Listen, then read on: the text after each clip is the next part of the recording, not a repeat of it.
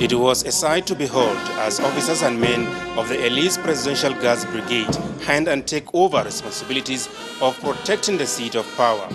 Although the change of guard is a weekly affair in the State House, this particular one is unique in many respects.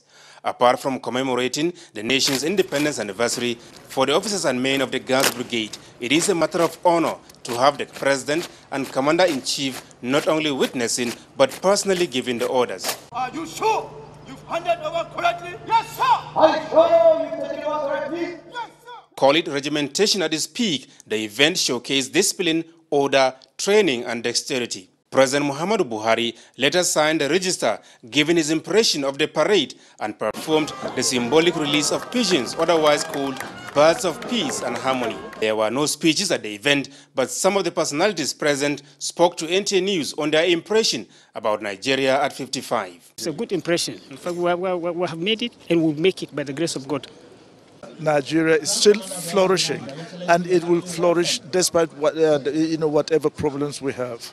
We are one of the greatest economy in Africa. That's no mean achievement. We must try and maintain it. Only one Nigeria, so it's something to be proud of, and we we just have to work hard to keep it that way. I'm hopeful that the future is very bright. Um, we have made some advances, and I think we can do more. With the regime of change promised and change which I believe will be delivered, there's a bright future for the Federal Republic of Nigeria. We should walk in the spirit of togetherness so that we can move Nigeria forward. Everyone has to work together because this is the time to take off for Nigeria. You cannot take chances. You will not get another chance. This is the chance for you. You must go on. Never lose it.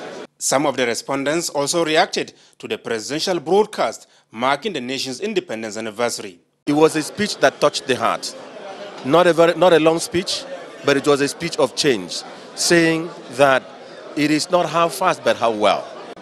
That speech was very powerful, and uh, it has inspired me, and I'm sure a lot of other people.